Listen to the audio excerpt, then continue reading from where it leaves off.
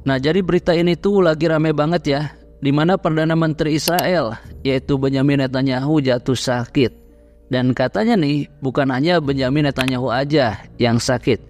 Jadi para staf yang ada di Israel ini juga terkena flu. Sampai sekarang sih belum diketahui ya penyakit apa yang membuat Netanyahu ini sakit. Nah kalau menurut berita yang beredar, menurut Tribun News nih, Benjamin Netanyahu ini mengidap penyakit hernia dan dia katanya harus dioperasi. Nah, karena Benjamin Netanyahu ini sakit, dia pun harus membatalkan agenda kunjungannya, seperti agenda-agenda penting.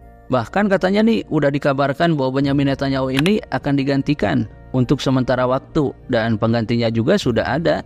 Tapi di balik isu sakitnya Netanyahu ini, Ternyata banyak banget orang yang menilai dia itu takut untuk berdiskusi atau menghindar dari sebuah diskusi. Nah, jadi mengenai diskusi yang dimaksud di sini adalah diskusi mengenai pengamanan, yaitu pengamanan yang ada di Masjidil Aqsa selama bulan Ramadan di tahun 2024. Sementara banyak juga dari pihak lain yang menilai nih, ternyata Benjamin Netanyahu ini cuma berdalih saja katanya supaya dia itu bisa cuti untuk bisa merayakan ulang tahun bersama istrinya. Ya walaupun akhirnya isu tersebut tuh ditepis juga karena merupakan isu yang cukup miring.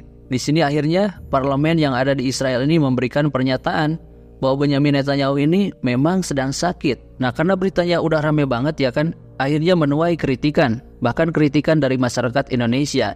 Justru nih masyarakat Indonesia ini justru malah senang kalau misalkan Netanyahu ini sakit dan kritikannya itu lucu-lucu banget. Bahkan banyak banget yang marah-marah. Kalau saya juga sih sama ya, karena saya mendukung Palestina, bukan mendukung Israel.